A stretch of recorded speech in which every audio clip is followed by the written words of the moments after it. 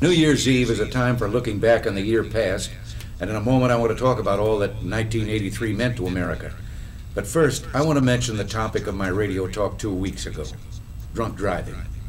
A drunk or drugged person at the wheel of a car isn't a driver, that person is a machine of destruction. So let's enjoy all the wonderful celebrations that go with New Year's Eve, but please, when we drive, let's drive sober. 1983 was the 207th year for our grand old republic. Though the year had its measure of hardship and even tragedy, it was a time when we Americans acted with courage, self confidence, and vigor. We had reason to feel glad. America was on the mend, and as our economy regained strength, we watched the progress of a sparkling recovery, one of the strongest recoveries in 20 years. I said from the beginning it would take time for our economic program to work. You can't cure 25 years of failed economic policies overnight. And yes, we had some hard months at first, but 1983 saw our patience pay off as our program took hold. On this New Year's Eve, the prime interest rate is 11%, about half of what it was when we took office. Inflation for 1983 is running at only 3.2%, about a quarter what it was just three years ago. Housing starts are running 60% higher than on this day last year. 1983 saw the stock market reach new highs as it pumped vast new funds into the economy and raised the value of pension funds where millions of working Americans have their savings.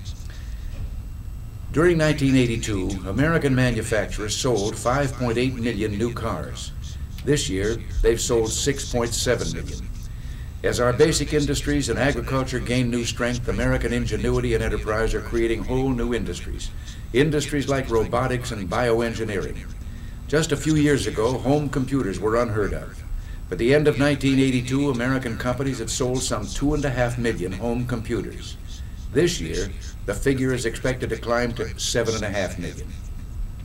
This is one of the seasons when we Americans fly the most, to visit family and friends because there's nothing like being home for the holidays.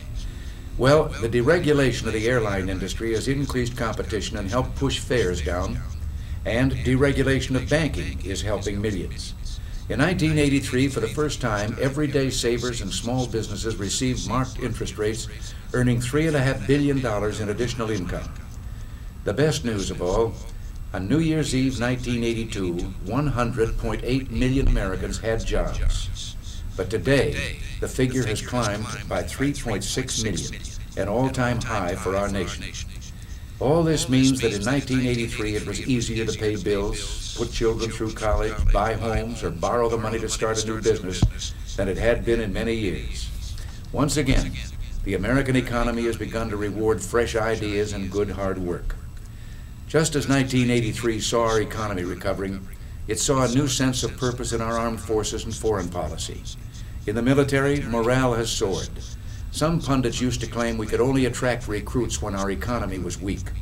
But now, even with a strong economy and growing opportunities in civilian life, our armed forces are attracting more and better qualified recruits than ever. There's one statistic that shows just how dramatic the turnaround has been. If 1979 Air Force retention rates had continued, three out of four pilots would have left the service after their first tours. In 1983, better than three out of four stayed in. Morale has improved partly because we've given our men and women in uniform better pay and better equipment. But I just have to believe the courage of our soldiers and Marines in Lebanon and Grenada has a lot to do with it.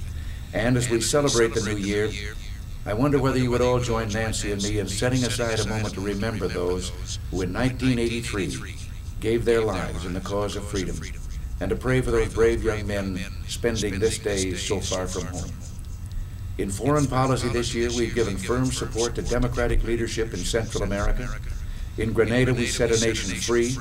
In Asia, our trip to Japan and Korea further strengthened our partnership with those nations.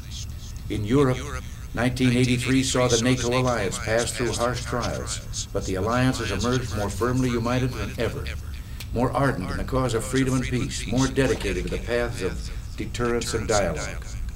In Lebanon, the road to peace has proven long and hard.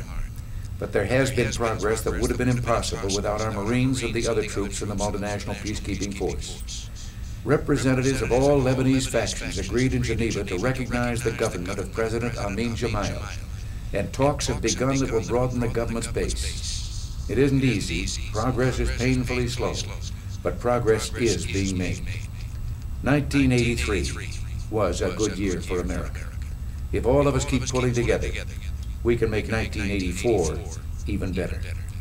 Happy New Year, and until next week, thanks for listening, and God bless you all.